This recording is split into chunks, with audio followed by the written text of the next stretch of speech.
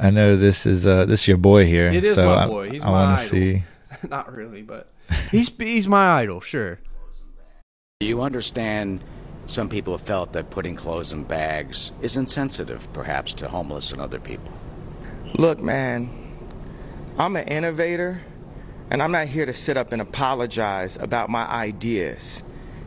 That's exactly what the media tries to do make us apologize for any idea that doesn't fall under exactly the way they want us to think. It's ridiculous. I think what it comes down to, it started out as a good thing. Like people, there were things in society that were insensitive to certain groups of people and stuff.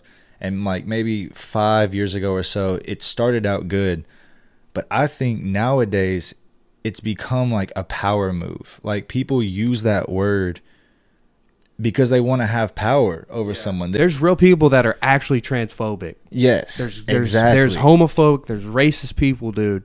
And like to say that putting clothes in a trash bag is offensive to homeless people, I'm not like I don't get like the correlation at all.